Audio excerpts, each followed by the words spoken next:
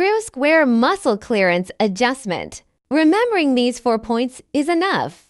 First, adjust the split lotus leaf clearance. The split leaf clearance accounts for one third of the total clearance, but not less than 0.15 millimeters. The lotus leaf clearance accounts for two thirds of the total clearance, and it should be greater than 1.5 times the gear side clearance. Second, check the tooth side clearance. The standard for changing gears requires the detector to be 0.10 to 0.18 millimeters. The meshing part is in the middle of the tooth surface. Make the surface contact area delay not less than 50% in the high direction. The delay width direction is not less than 70%.